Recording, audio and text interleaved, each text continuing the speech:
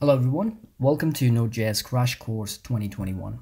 In this video, we will learn everything to get you started with your first Node project. Before we dive into this video, I just want to mention if you like this series, please give me a like and share. And if you're not subscribed, please subscribe. It means a lot for me. Okay, so let's go ahead and take a look at the table of contents. We will discuss what Node is, why you should learn Node, how does Node.js work? Uh, we'll talk about some of the examples of Node uh, use cases, and uh, we will go ahead and install Node.js in our system. And uh, finally, we will go through the documentation of Node and uh, go through the core concept like global object, Node modules, we have some FS module, OS module, and at the end of this video, we'll be creating a web server we'll be creating web server through just the default library that Node has. Also, we'll be installing through npm uh, Express, which is a very popular Node framework. All right, so what is Node? Node.js is an open source and cross-platform JavaScript runtime environment. It is a popular tool for almost any kind of project. Node.js runs the V8 JavaScript engine, the core of Google Chrome, outside of the browser. This allows Node.js to be very performant. All right, so let's deep dive a little bit onto these two things, how Node.js actually work and what that is.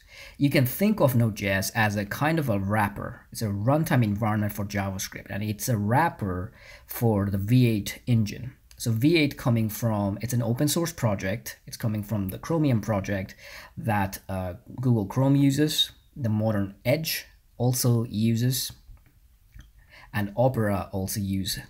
All right, so how does Node.js actually work? So let me go ahead and show you in, a, in the slide. So at the basic low level, the computer only understand binary code, which is one and zero okay it's very cryptic. We cannot write program in this in this binary code 1 and 0 it's not readable at all. On top of this what happens is that it's is something called assembly code. Now this is somewhat readable but still it looks like this. Um, so it's still it's we can be pr programming on assembly code. Maybe you can but it will take a lot of energy to do so. Hence there is high-level programming language like JavaScript, Python, or Java or C Sharp comes into play. Now JavaScript, we can write program almost like plain English, right? But the thing is, those JavaScript, those programming logics that we're writing, that needs to be converted, compiled into this 1 and 0 at the very bottom. Hence comes Node. So Node is a wrapper for V8 engine and V8 engine takes JavaScript project not objects and then it compiles it takes a hybrid process. It takes it sometimes do interpret them and sometimes compile them make it really performant. So and then it takes JavaScript code and then turn into machine code. So that's how Node.js and V8 uh, works under underneath the hood Okay, so let me go back to the definition here. So there's another characteristic for Node.js. So Node.js app runs in a single process. Without creating a new thread for every request, Node.js provides a set of asynchronous input-output primitives in its standard library that prevent JavaScript code from blocking and generally, libraries in Node.js are written using non-blocking paradigms, making blocking behavior the exception rather than the norm.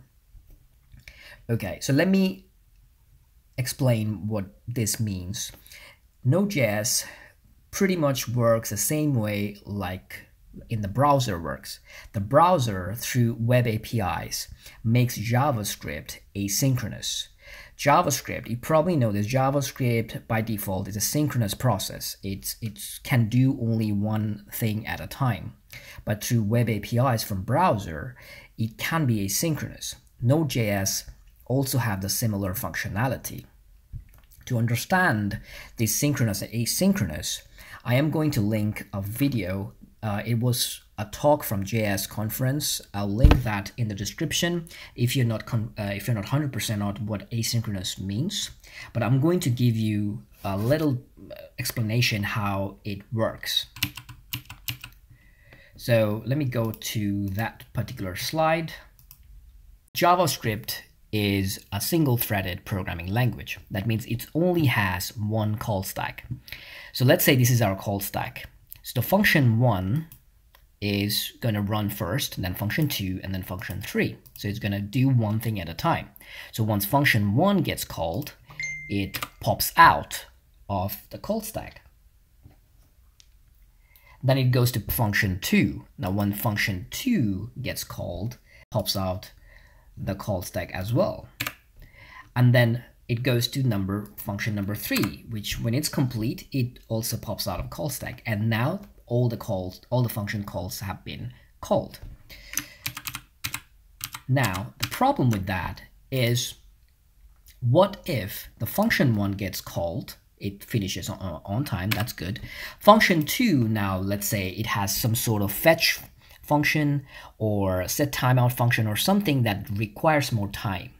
Function 2 has maybe a fetch that it actually talks talking to a database to gather some data from the database, requesting the data and getting the data. It, it requires some time. So for this example, let's say five seconds to finish this function. So with synchronous process, what's going to happen in, within this five second? Your program probably going to be in a stuck mode. It's not, it cannot pass the function 2 and go directly to function 3 is going to stuck for 5 seconds and make your user wait for your functions to finish. And that's not something we want. So what happens with Node API or also for the web API in the browser, they can run asynchronously. So basically what's happening, so function 1 gets called, and then function 2 when it comes to function 2 and this API actually sees that this is, might be a fetch uh, function, they go to immediately this, this Node API area, making it easy for the JavaScript call stack to go to the next function, which is function number three. During this time, when function number three is uh, executing, so let's say this completes and it's done, this function two, when it gets resolved, it goes to some somewhere called task queue. And from the task queue, there is something called event loop. The event loop looks to the stack call stack and see where is, is the call stack empty. That's all it's looking for. Once the call stack, all the function calls are done, it's going to push that function 2 into the call stack, and then call stack will call the function. Hence, all the calls, all the functions have been called from the call stack. So this is a very basic explanation of how asynchronous JavaScript work. But check out that video uh, through that link. Uh, it actually explains better than me what I did just right here. All right. So what is NPM? So we talked about libraries here. So when you're gonna install Node.js in your system, it will also going to install something called NPM, which is Node Package Manager. In Node Package Manager, there are millions of packages that developers actually created, the third party libraries that we can use in our own project. And NPM kind of maintain what projects in a dependency in package JSON. And we're going to talk about NPM when we're going to install Express. And also when you're going to try to explain Node.js, you will see what NPM actually does. Okay, so now let's talk about why you should learn Node.js. Node.js has a unique advantage because millions of front-end developers that write JavaScript for the browsers are now able to write the server-side code in addition to the client-side code without the need to learn a completely different language. And it is huge. It puts the developers who are already writing JavaScript in a unique position where you can uh, get into Node.js, which is the entry barrier is so minimal, it almost makes it, it's a no-brainer decision for anyone to get into Node.js and maybe uh, if you're a front-end developer, maybe uh, you know expand your horizon to become a full-stack developer. Uh, and Node.js is a very mature uh, program and application. A lot of companies use Node.js for enterprise uh, applications. And also there are tons of jobs available as a Node.js developer. All right, so let's go ahead and uh, take a look at what can you do with uh, Node? Now, Node.js can do, can do a tons of tons of stuff. From writing, reading to a file, to creating a web server, to connecting to the database, to programming a robot with Johnny 5 IoT platform, uh, sky is the limit. It's you, you are the driving force here. You have the tool. Node.js is a tool and it make gives you the power to create and you can do a tons of tons of stuff. All right, now let's enough talk about Node.js, uh, the theory. Let's go ahead and install Node.js programming in our system and go through the core concepts. So I want you to go nodejs.org. The link will be in the description. Once you're there, you will see 14.17 LTS and also 16.20 current.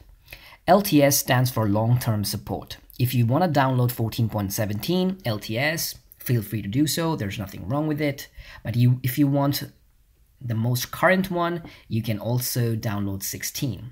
One thing to remember though, if you click on here, long-term support schedule, you can actually see which versions are going to have long-term support and when it's going to get expired. Now you see that Node.js 14 right here is active and also it has long-term support uh, till you can actually see right here. Active maintenance end life would be about 200, uh, 2023, so it has long-term support. 16 is current, it also will be good till 2024, so we are both we are good with both of them. Now here on the top, if you look at this one, is major Node.js version enter current release status for six months, which gives library authors time to add support for them.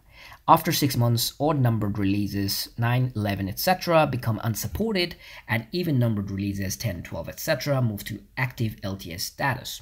So Node.js they publish the odd number version and those odd number version is basically to include some features that they are testing and it has about six month or so um, expiration date. So if you want latest and greatest, and if you also want to experiment with these new features, you can download the odd number Node.js versions. But just don't make any application, any project based on that uh, odd number Node.js because it might break once it's gonna get expired. So in this case, we are good with 14 or 16 as well. All you have to do is click on 16 and it's going to open up. If you open this, it's going to open up like so. And you see that now it's giving me the installation, the setup wizard. And I can go through the setup wizard and install Node.js in my computer. Before I do that, I want to show you the terminal. Now I am on a Windows, as you can see, Windows system. I'm going to use Windows Terminal. If you don't have this one, it's an actually an app. You can go ahead to Microsoft Store, search for Windows Terminal, and you can install it from there. If you go down, there is a github.com Microsoft slash terminal. You can read more about this one if you want to customize your Windows terminal. The Windows also has command prompt that comes in default. So if you want to use command prompt, feel free to do so. If you're using Mac, obviously you have a terminal in Mac as well. I'll be using Windows Terminal, especially Windows PowerShell. So what we will be doing is I'm going to first check what version of Node or if a node already installed in my computer or not. So if I do node, then space let me make it bigger and then dash V and now if I enter you will see it's giving me right now I have version 14.15.5 which is completely fine for this video. If you have a version 14 you should be okay. If you don't see a version number that means you don't have Node.js installed in your computer. In that case you have to go through this wizard and install Node.js in your system. All right, so after installing Node.js, if you do the same, run the same command in your terminal, node dash node space dash v, you would see the new version on your computer. Another thing on this Node.js website they have a really good documentation. So if you go to docs and then go to guides right here, and if you go to Introduction to Node.js, which is under Node.js core concept, it will open up to this particular website. And as you can see, this website also has night mode as well. So from here alone, you can get a lot of information about Node. You can you know you can know about uh, the introduction of node you can actually see that there's how this is how easy to create a web server through node just through the http modules you can uh, read about the brief history of node how to install node uh, this is if you are running uh, if you're running on Mac, then obviously you might have Homebrew and you can do Homebrew install node from there. So every information uh, that you might want to know uh, after watching this video, you can go ahead and uh, come here and see it and read more about it. I'll go ahead and just for ease of use, go ahead and give you this link as well. All right, I'm gonna go back to my terminal now, this is the reason I'm using a terminal because a lot of uh, command I'm going to run in order to run my node uh, application is going to go through the terminal. So in that case, you should really be familiar with, with your terminal. Now, I'm using Windows Windows PowerShell right here, Windows Terminal. You can, if you want, you can download it. I recommend it. It's really, it's really awesome. And uh, but if you want to stick with your command prompt, some of the syntax would be a little bit different on the command prompt on the Windows default, but a quick Google search will show you how to do things. Okay, um, so let me go ahead. So I'm gonna say cd, I'm gonna create a folder, and in that folder, uh, I will open up Visual Studio Code. So that's what I'm gonna do. I'm gonna say cd, so cd stands for change directory. So I'm gonna go, I have uh, my all my projects in E drive. So I'm gonna say E colon, and I know I have a folder called projects. So I'm gonna say that, and if I enter, now you can see I am in that E drive and in the projects folder. Now in the projects folder, I want to go to, I have another folder that is just for YouTube videos. So I'm gonna say YouTube change directory to YouTube. Now I am in the projects folder and into YouTube folder. Now if I do ls and enter, it's gonna list out all the files that I have in that YouTube folder. Okay, now I want to make in this folder right here in the YouTube, I want to make another another file or another folder. To do that, I'm going to say make make dir so it's basically going to be mkdir, so it stands for make directory. And I'm going to give it a name. I'm going to say node.js, node-js. And if I say do that, you see that it created a folder for me in, in that YouTube. So I'm still in the YouTube folder, in the root folder, YouTube folder. And in that folder, I have now a folder called Node.js. Let me go ahead and get, get into that Node.js folder. So I'm going to say cd into Node.js. Now, as you can see, it's right now I'm in my projects, YouTube in Node.js. Now from Node.js folder, if I say code space dot and enter, it is going to open up Visual Studio Code in that particular folder for me. All right, as you can see here, I have my Visual Studio Code open. Here's in the folder. Let me go ahead and make things a little better to see for you. It's 14 right now and that should be good. And here, the first thing I'm going to do is I am going to create a file, and that's going to be index.js. Now in this index.js file, I'm going to write my JavaScript that will run in a node. So, so far we have been writing our console log, our JavaScript logics, and we are debugging through developer tools in Chrome.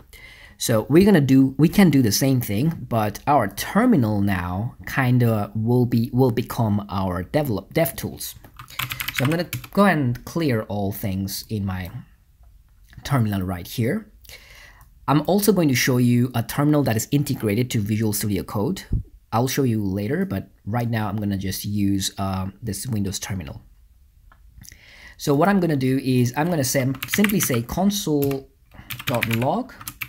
and console.log, let's say in quotation, I'm going to pass it a string, which is going to be hello world. Now, if I save this, and in this terminal, one thing I have to make sure that I am in the same folder as well. So my terminal is, is in the same folder with my index.js. Now I have got to run this file. Node needs to run this. So this is JavaScript. Okay, I'm doing console.log hello world. Simple, like console.log is is kind of same like a print statement. Like if you're coming from Python or if you you have experience with um, maybe Java, the standard out. Um, this is same as print in Python. That's going to be console log. It's going to console log the hello world. But Node has to run this, okay? Because as you remember, I showed you Node needs to compile this and then print it out in the terminal. So how can Node do that? In order to run this file, all I have to say is node and then space and the name of the file, which is going to be index.js. Now if I enter it, you see that it is now printed on hello world, printed on my terminal. All right, so let's talk about global object. So in the browser, if I go to the console of Dev, DevTools, Chrome DevTools, if I say window, you can see that window is a global object. If I enter it, it has a tons of applications, tons of functions that are available for us. It's a, so this is called uh, global objects that is available in the DevTools in the in the web API in the form of web APIs. All right, so Node.js has similar uh, object and it called uh, global. Okay, so let's go ahead and take a look what this global object is. So I'm gonna say global.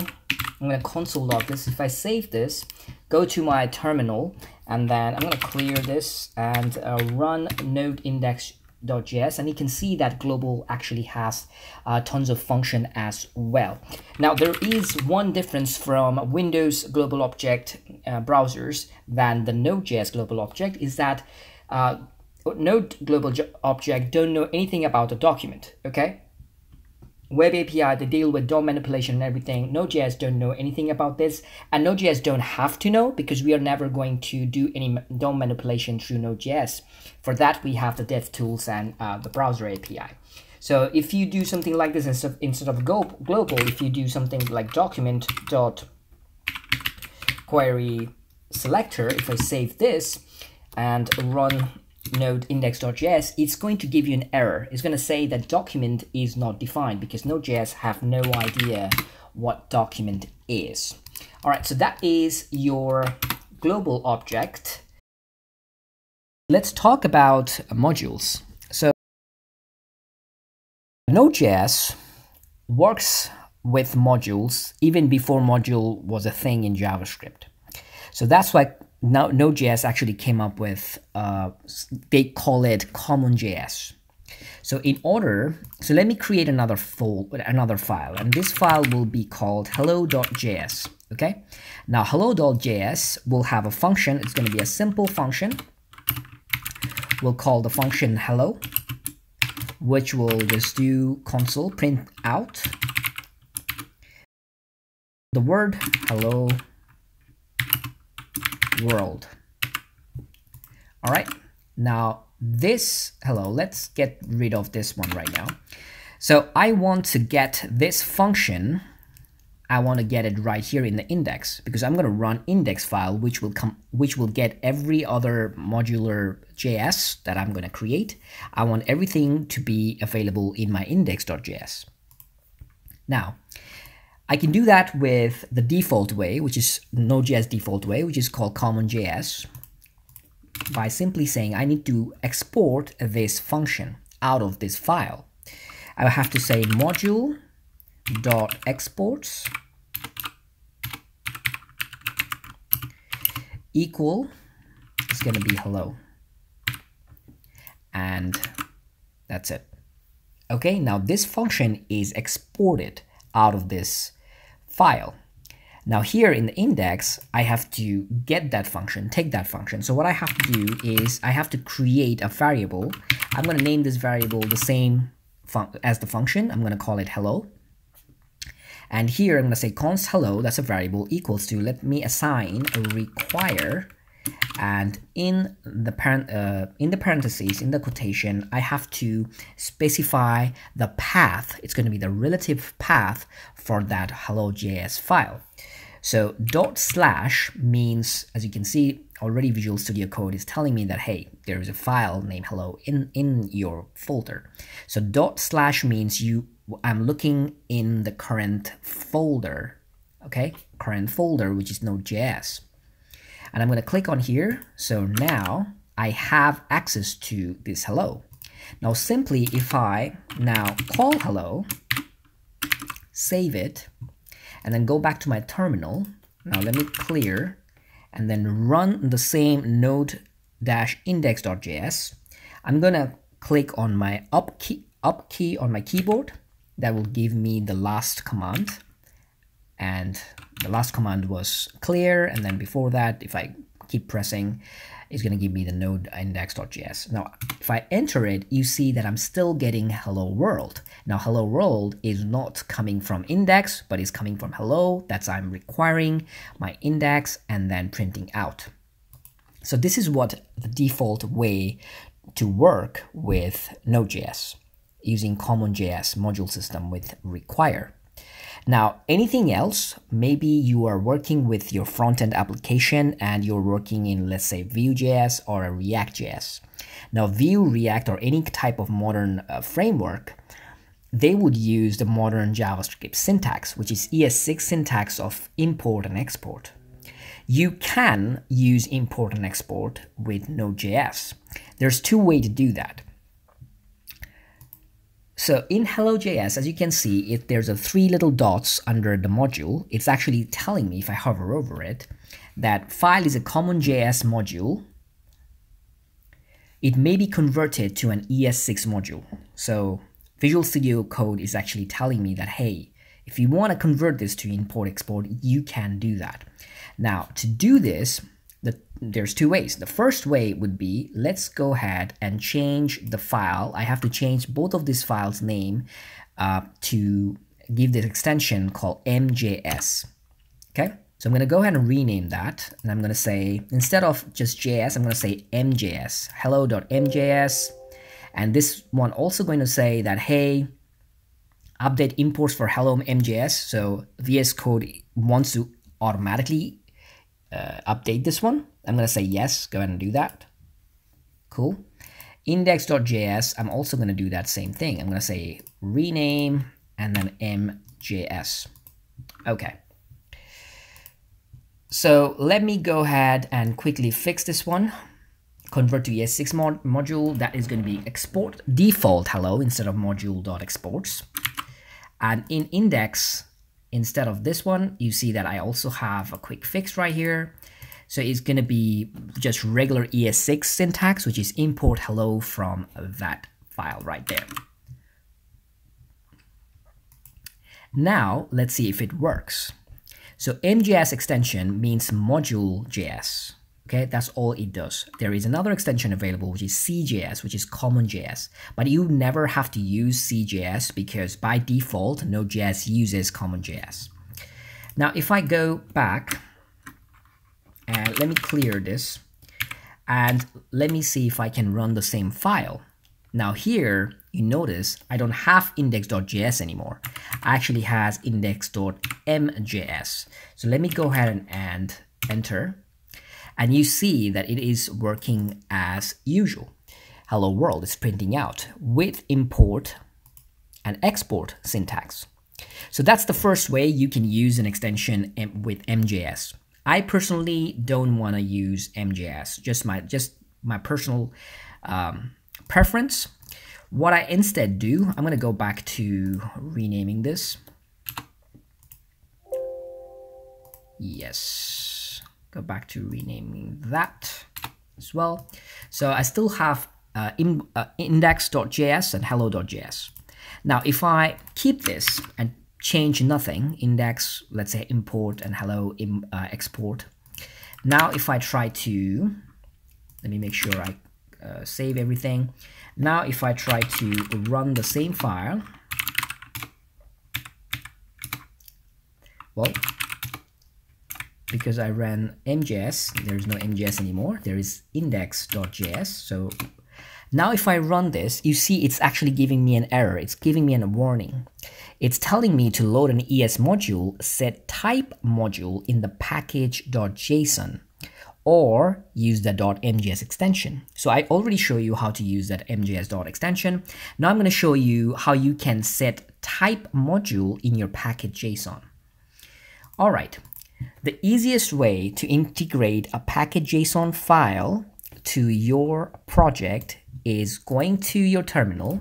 I'm going to clear this and make, making sure that I'm on the same folder, which is Node.js. What I'm going to do is npm init. Okay. Now remember, npm comes with your node. It, it's integrated all together. So npm init, if I enter it, it's going to ask me a bunch of questions. It's going to create a package on package JSON file for me, but it will it, it it will ask some questions. For example, it's going to say, "Hey, what do you want your package name to be?" I can say Node uh, JS enter.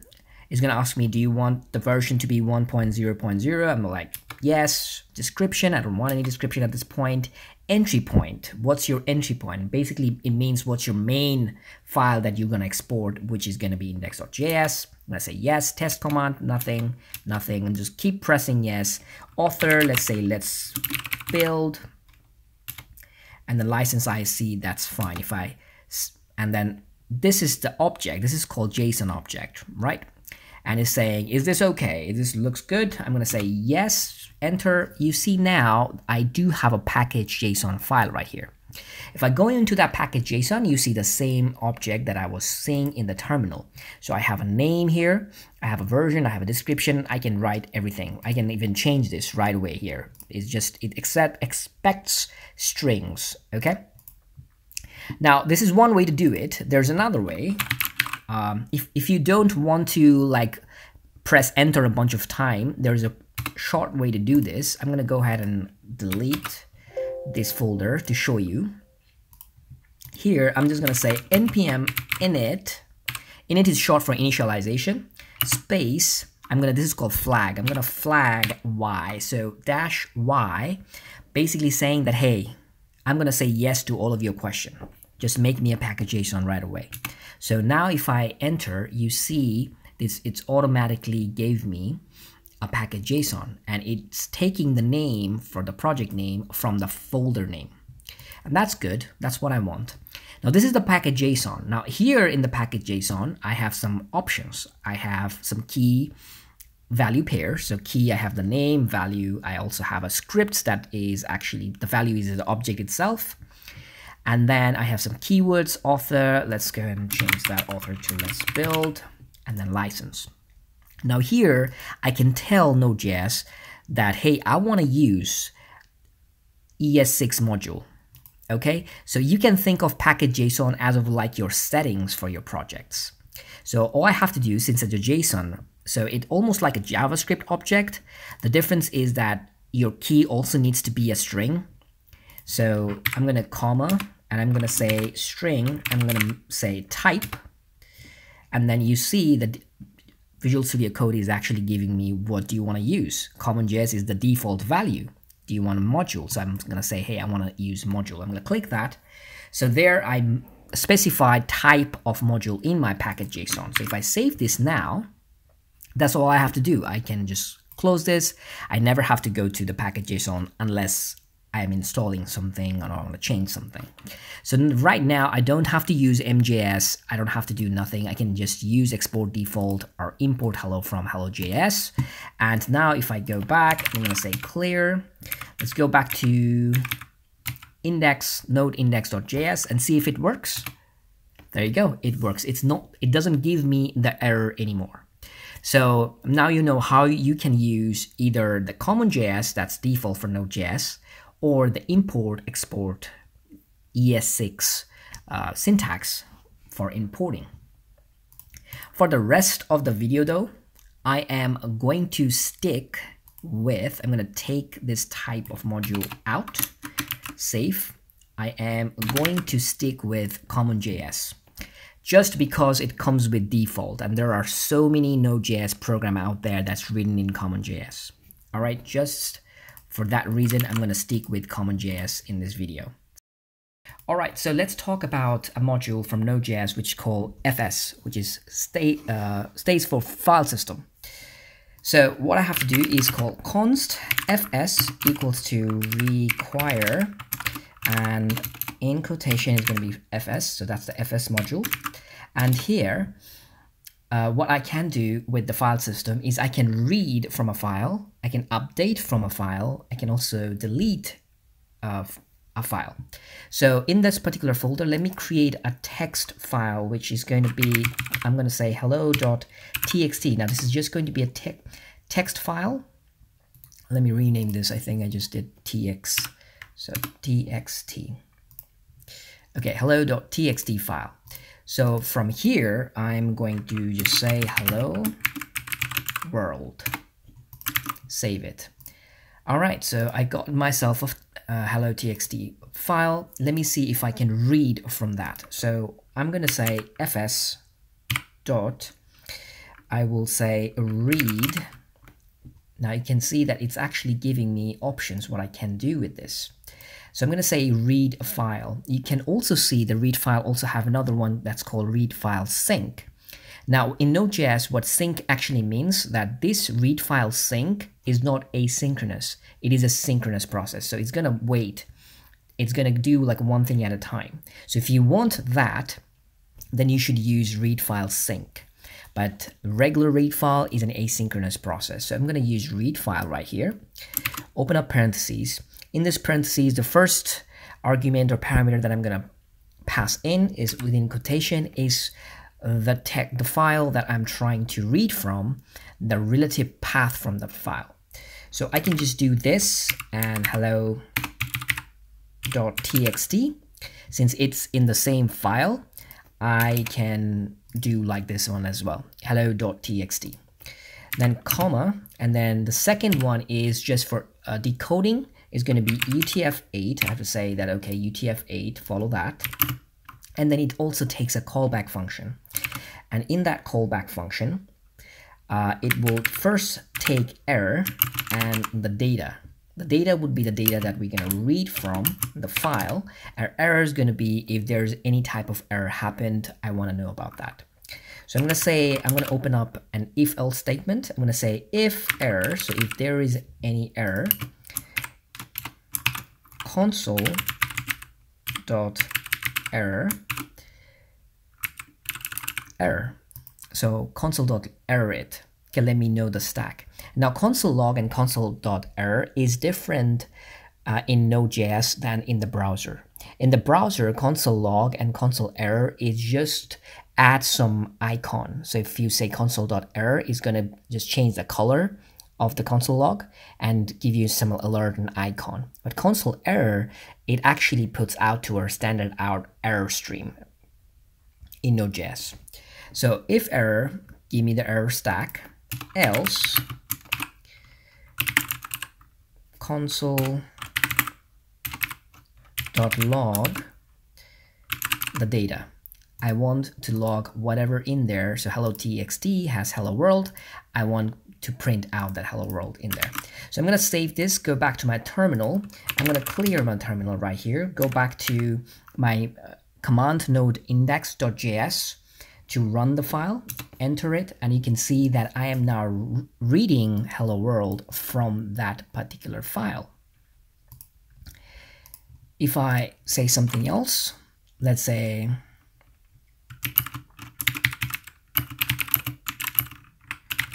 Hope you are doing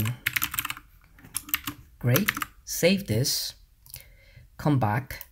Now if I run the file one more time, as you can see that it is reading the whole sentence. Hello world, hope you're doing great. Okay, so now we know how to read from a file through fs.read file. What if I want to add something to that file? Let me go ahead and uh, comment out this.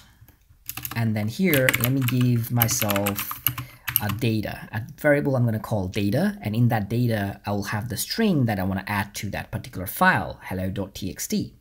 So I'm going to open up a string. I'm going to say, please subscribe if you are not. Okay, so that's my string. And I'm going to append it to that file. So I'm going to say fs dot append file. Now again, you see there's two, append file and append file sync. Sync is for synchronous operation, append file is the asynchronous process. And here I'm going to uh, first specify which file I want to append it to, which is going to be hello.txt.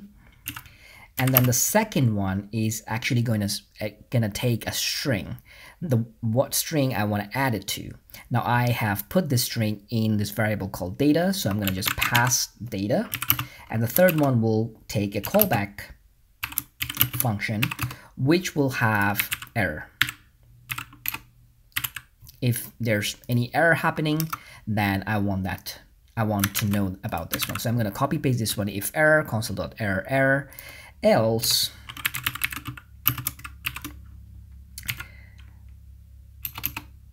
else console log I just want to know um, now I'm just going to print out that uh, data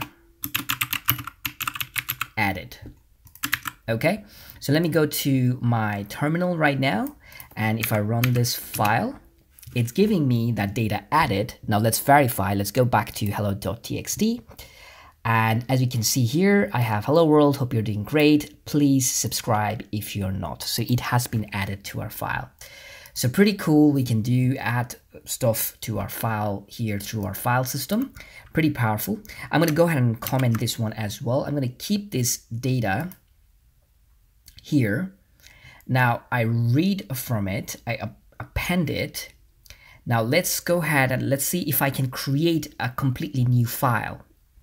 So to do that, and here I'm gonna say, I'm gonna give it a different a string. I'm gonna say like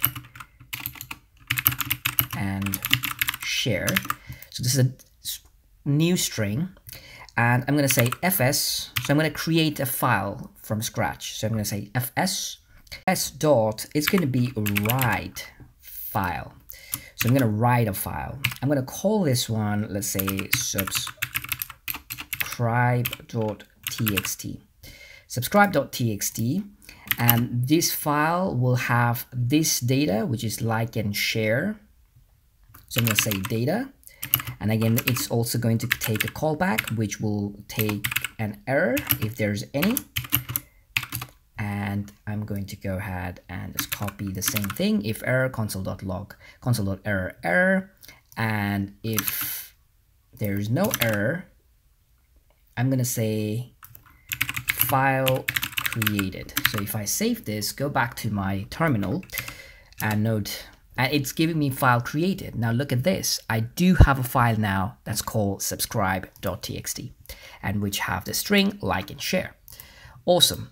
So I read, write, and update this. The, the last thing remain is to delete. So let's go ahead and delete the first file right here, hello.txt. How can I do that? So I'm going to say fs dot unlink. And here I'm going to say the file that I want to unlink, which is going to be hello.txt. And uh, here I'm, uh, I basically will have a function which will have an error. Nothing else. There's no data. There's nothing else. And here I'm going to copy this to error. I'm going to say delete it. File deleted. So if I save this, go back, uh, index run is saying file deleted and as you can see right here there is no hello.txt anymore perfect all right. One more OS, one more module I want to show you. That's called OS. Uh, so let's go ahead and const. I'm going to go ahead and comment up this one. It's gonna say, I'm gonna call this again OS require OS uh, and save it. So you can go back to the node documentation and you can see there's Node.js OS module. I would have to require OS and it has some really nice features. So let me go ahead and show you the first one I want to show you is I believe is CPU S. So if I do now, um, let me see, os dot cpus right here, and just invoke that function. Let me clear my terminal, go back to node index, and that it doesn't really happen because I did not print anything. So let me go ahead and print it. Okay, let me go back and there we go. You can see that the CPU, so I'm running an i7 Intel uh, CPU of 2, 2 gigahertz, so it's actually giving me uh, some of the information of my uh, system right here, which is pretty cool. Let me clear this. Um, another one I can do is called home dir. Home dir. So if I save this one now, now and then open up windows.x, it's actually going to give me the current path I'm in. So home, home directory path. And uh, one more thing I want to show you is going to be platform. It also can give me a platform, which platform I'm in and that is going to be I'm in Win32 version. Okay, so now I want to show you something else. It is called dir name. So I'm going to console.log and in parentheses I'm going to say underscore two times, double underscore. I'm to say dir name. Now if I do that, if I save this, and let's go back to my terminal and I have to make sure that I am uh, writing node index dot .js. And if I run this, you see that dir name actually prints out the path of this file. So it's in my uh, eDrive projects and YouTube folder and Node.js folder. So we will be using uh, this dir name if you ever want to get access to the path of this uh, file, you can use a dir name.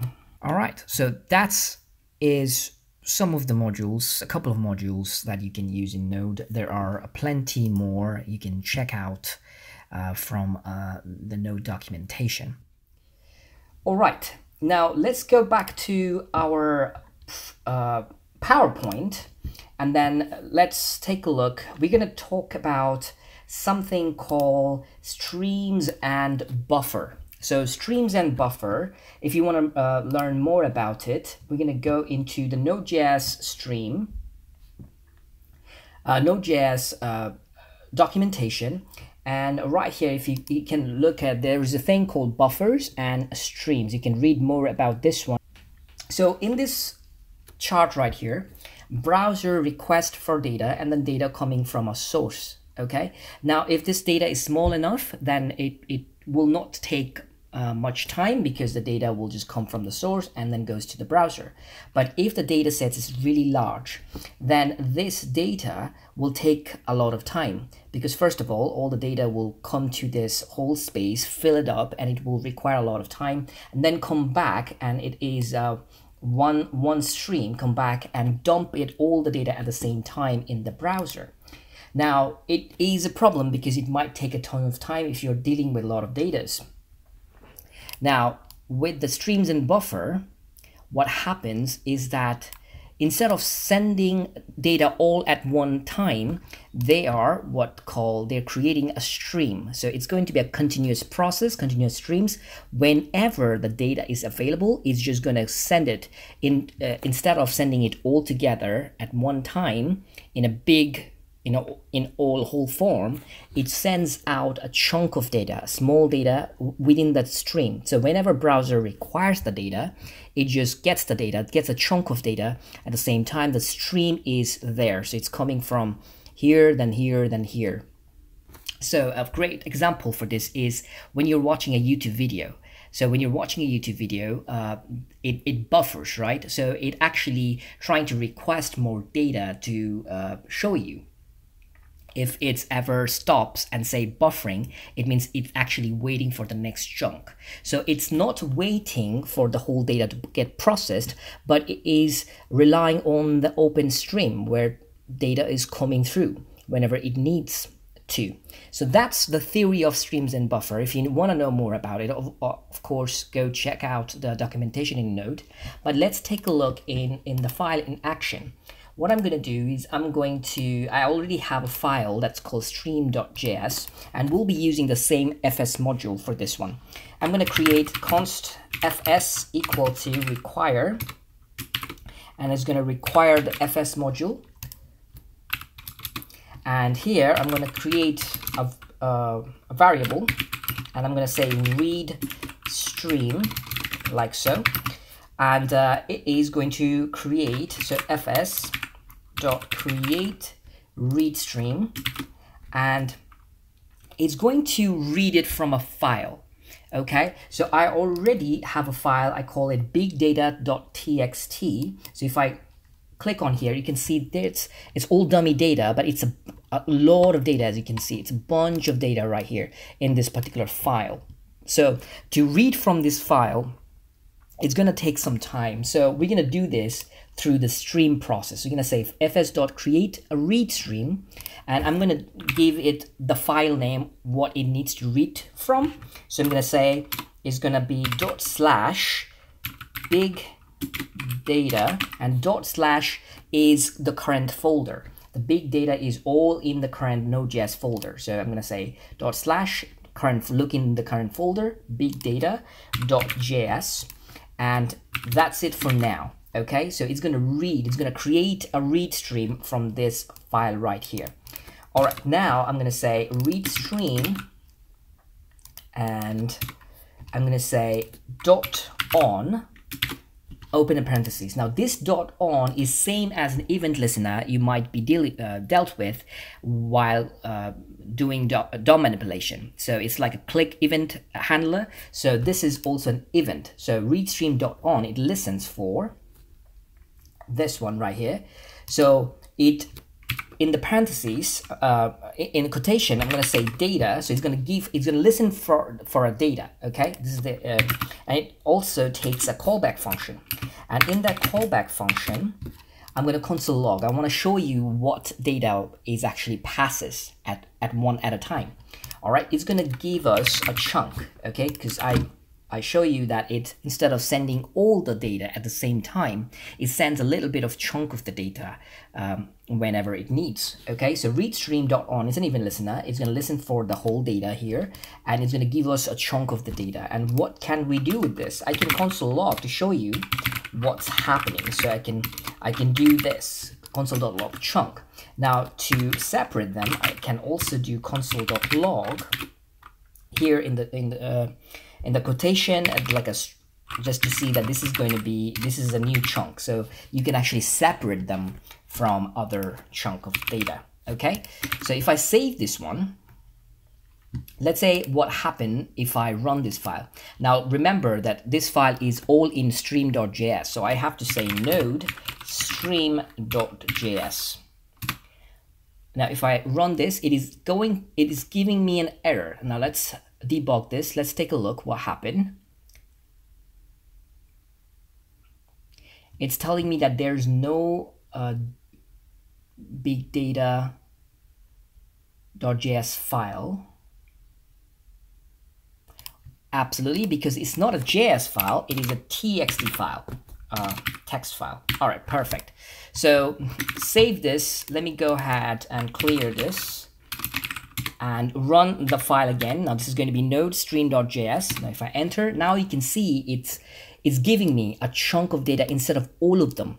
Now you see that it is actually giving me an array of uh, numbers. Now these numbers are actually positions uh, of of those letters. So I can I can actually see convert them to string um, to see what actually I'm getting. So I can do it um, in two ways. I can simply say chunk.toString and save it. And now if I run it again, it, it's going to give me all the chunk of data right now. As you can see, it's a big chunk right here. And this is the new chunk. And I am getting all the uh, dummy data that's reading from the bigdata.txt file. Okay, so I can do this chunk.toString. I also can do it, instead of calling toString here, I also can give uh, option right here. So I'm going to say comma and open up uh, curly braces. And here I'm going to say encoding, sorry, enc encoding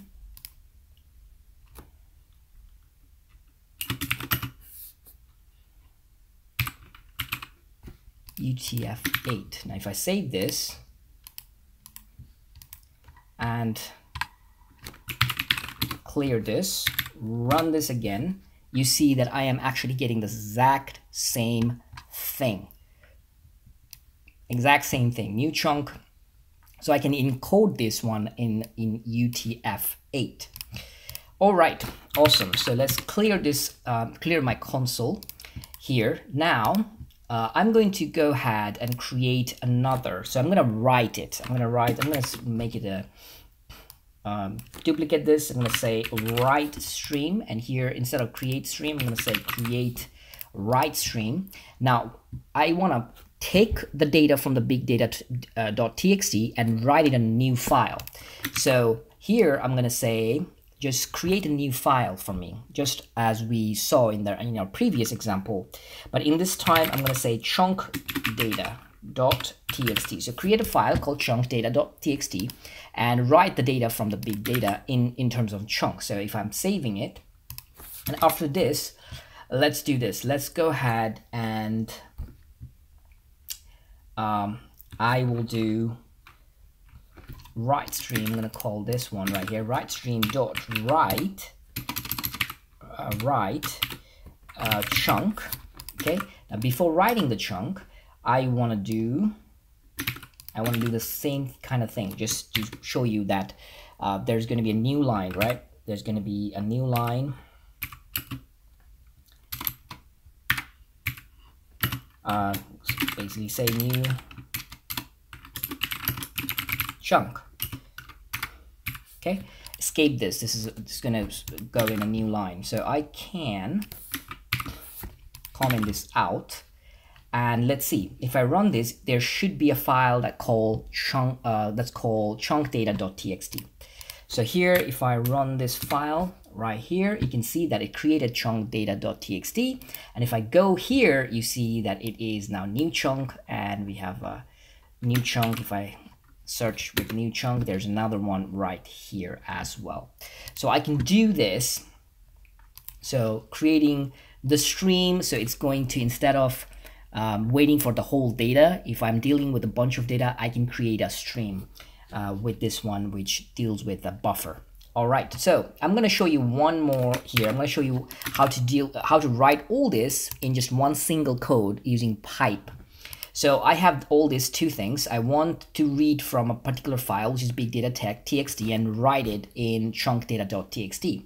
So instead of doing all this, I can comment this out. I can simply say read stream dot pipe, and in the parentheses, I'm going to say write stream. Okay, and I'm going to save this. I'm going to delete the chunk data right here because I want to show you that it actually works. So there's no chunk data. It's going to do the exact same thing like all this here. So if I now save, go back to my terminal and run Stream.js, look at that. We have chunk data one more time and it's doing the exact same thing. All right, so that's what uh, streams and buffer in Node.js. All right, now let's talk about what is a web server. Before we dive into that, let's talk about what is front-end development is and what is a backend. Okay, so I'm going to give you an analogy of a restaurant. Let's say you went to a restaurant and you are looking at a menu. And this menu has, you know, the foods, pictures, the ingredients, the price, and it's really well organized and designed. And it has all the information that you need to uh, make a decision of the food that you want. And think of this menu as your website. This is going to be your front end website, right? Okay, so once you know you have the menu and you decide that, okay, this is the food I want, what do you do? You order it to a waiter or waitress or a server. Let's call it a server. Server takes your order. Okay. Now server takes your order. Then go to the kitchen with your uh, order and then talk to the chef. Chef takes the order and he creates it. He makes it with ingredients. He takes it from refrigerator and all kinds of stuff. He he does his thing, and then gives the food to the uh, server and the server brings the food on your table and as a user you are only ordering from the menu and you're seeing the food on your table now. You don't know anything about what happened in the kitchen and what's been uh, the servers doing all this time. So that is literally the server it gonna be node server okay so node server it takes a request from your front end website and it sends the respond with the data okay in in this case in the web world your food gonna be the data that you requested now, node server, how to get the data?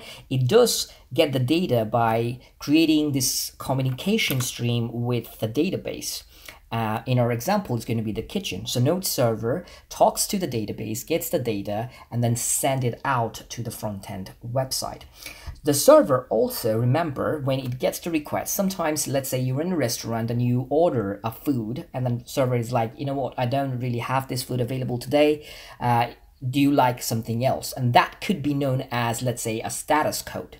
Okay, it's a server error, the status code, okay? So node server does the same thing through a status code. If its status code is 200, that means yes, we have that food available and we'll get to you. If it's the 400 or 500, that means something happened, we don't have the food, okay? It's a simple uh, example to understand what front end and back end is. So the back end would be the node server, the database, everything that you don't see, everything's happening is consist of your backend development.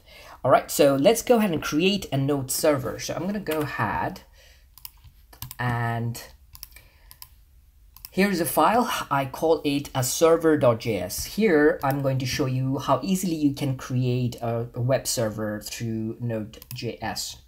I am going to go to the documentation and uh, here build an HTTP server and they have uh, an example right here. And this is this is simply this is the, this is all the code that it requires to create a server.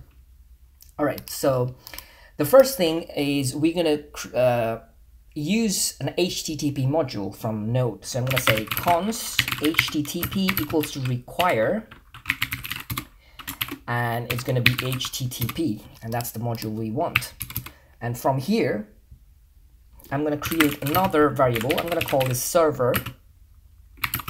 And here I'm going to initialize http dot create server. Okay, this is the function. It gives us. It's going to create a fun uh, server for us.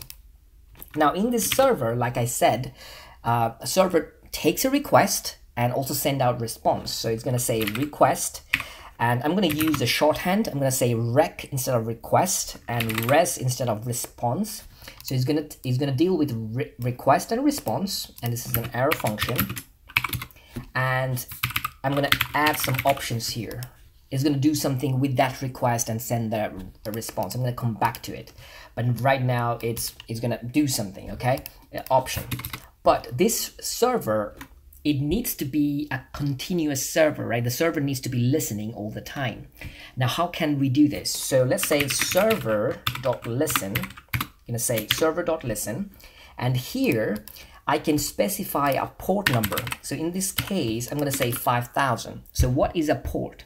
Your machine, your uh, computer or anything, um, there it has a tons of ports available. You can see 4, 5, 4, 5, 5000, 3000, all, all sort of port.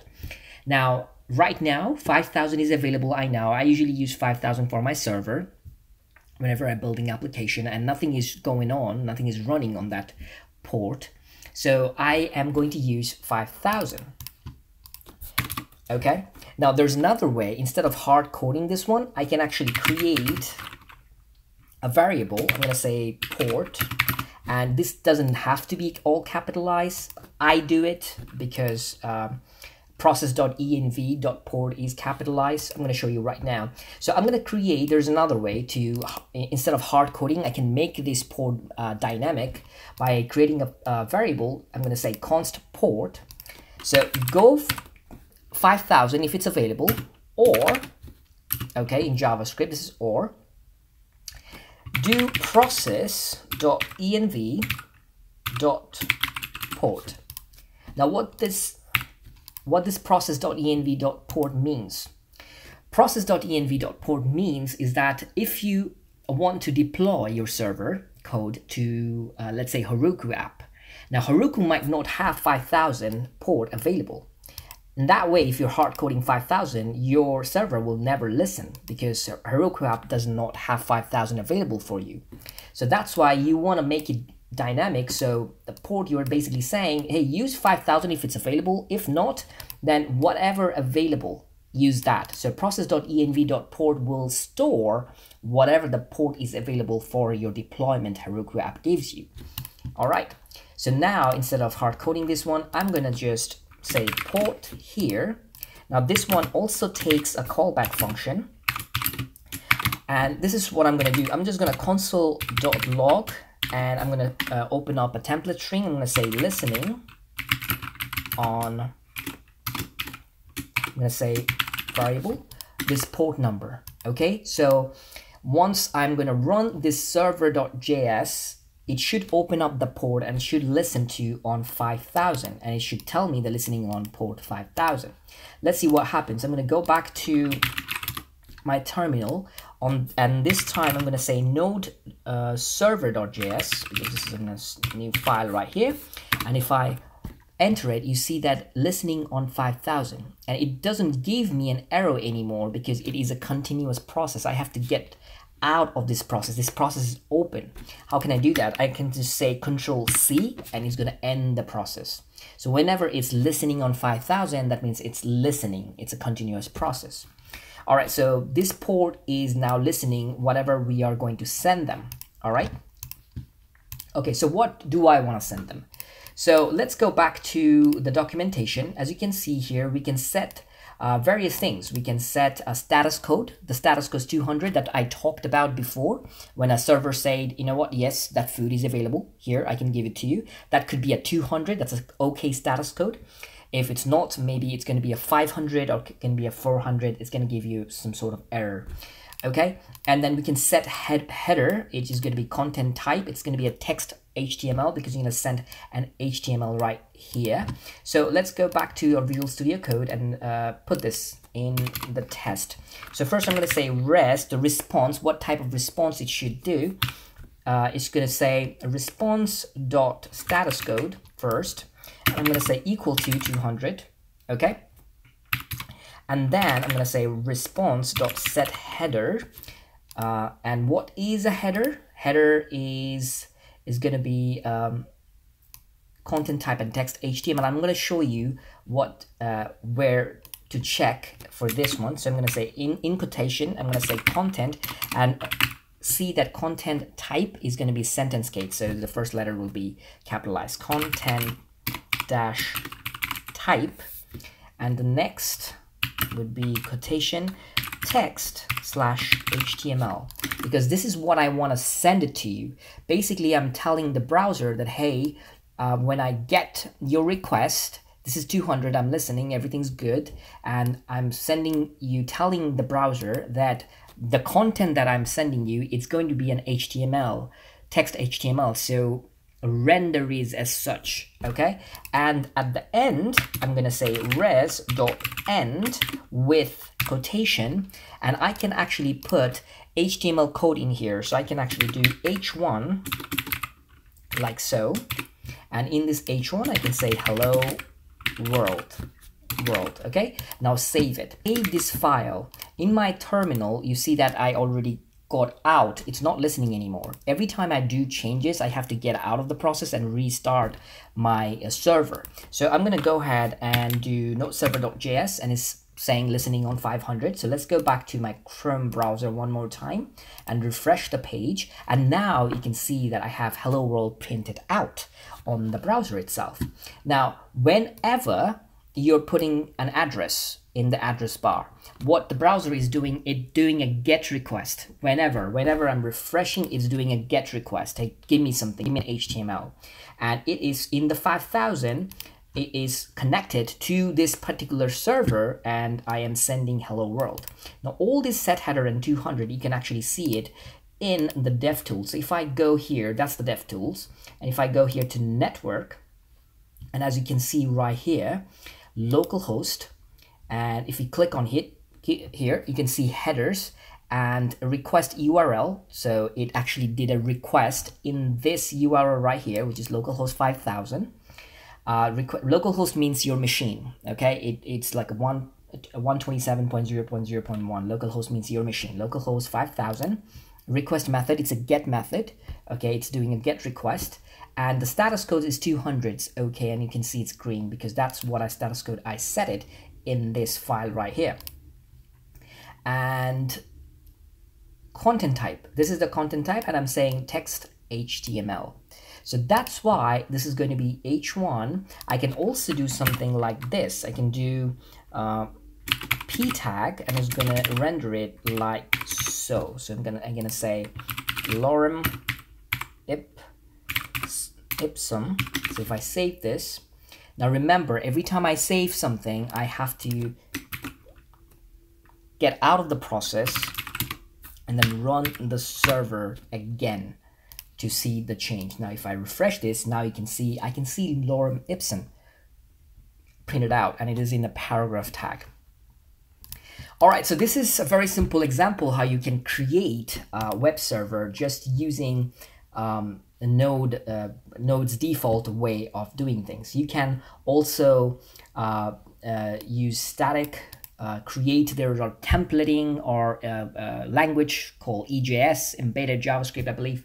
Um, I don't like to do this. I like to create a client. My client is, is in a different folder and my server side code is in a different folder and they talk to each other through endpoints. So we'll be creating endpoints um, in Node.js web server. Those endpoints you can think of as like a like a port, different port. So for a GET request, you you go find one GET request endpoint, GET method endpoint. For a POST request, if you want to post it, if you want to save it to a database or something, you have an endpoint that is deals with POST request. So that's what web server actually does. It's all it does is take a request and send some response. All right, like I promised you, I will show you how you can uh, use a framework that's called Express, okay? And uh, let's get rid of, uh, let's comment this out actually. Let's comment all this out and let me go back to my um, terminal. I'm gonna uh, get out of this process clear this, make sure I am in the same folder. And here I'm going to install an Express. So right now, if you go back to my file here, I have the big test, uh, big data txt, hello index and package.json. Now I'm going to install this Express framework into my application and you'll see there are a lot of things will happen. There is going to be a node module. There's going to be, so right now, if you go to package.json, as you can see, the main is the index.js means that's basically start. When I say node uh, index.js, this is what's exactly running. You will see a lot of other stuff that's going to add up to the package.json. So let's go ahead and do that. I'm going to say npm install and I can do it short, just I. I'm going to say express, okay? And I'm going to do save, dash dash save. Uh, and then if dash dash save means save it as a dependency. Now, if I click on here, it's going to install it in this particular folder here, Node.js. And as you can see, immediately as a dependency, it's showing dependency is, uh, is showing me that Express is available in my package.json. All right, now I have Express installed in my system And let's go ahead and do this. const express require express as usual. Express require, and I'm gonna say express like so. And now I'm gonna say const app, just like the server that we did um, previously. I'm gonna create a variable I'm gonna call app and initialize express like so all the functions express and everything will be available now into the app. I'm going to say uh, app, let's create actually the port, const port equals to, I'm going to make it capital, equals to 5000. I'm not going to use the process.env uh, for this example. And here I'm going to say app.listen and uh, listen to the port takes a callback function so I know it's connected. I'm gonna say console console.log backticks listening on this port. Now what should it listen to is going to listen to app.get. So uh, here, instead of server equals to HTTP create server, it also it already creates that. You can also uh, basically say app.get. That means it's going to deal with the get request, and this is what it does. I'm gonna first say that quotation and then slash. So when it's slash or when it's the root folder, this is to 5000, right? Localhost 5000. When it's in, let's, we're going to create, we're going to say uh, localhost 5000 as a home. When it's in a home directory or just a slash, nothing here, do this. So obviously take the request and then uh, respond and arrow function like so. And I'm just going to send out a JSON object saying hello world because usually this is how I work in my front end folder. I will have a, let's say a React app in the front end and I will deal with my server side code based on this endpoint. So this is going to be an endpoint which is which sends out hello world whenever you go to localhost 5000 to the slash. All right, now if I save this one, let's go to my terminal and run a node server.js and you see the listening on 5000. Let's go back and you see I have hello world right now as a JSON object printed out on my website. So that's all good. So I don't want to overwhelm you too much. I definitely planning to make a full stack development application which will deal with front end, a client side code, and also a server side code with Express. So stay tuned for that. If you have any questions, uh, please let me know. If you like this video, give me a like. As always, subscribe if you're not. Um, if you're not, and uh, if you still here watching my video, thank you so much. Thank you so much for your support, and I will see you in the next one with a full stack application where everything that I teach you will make sense even more.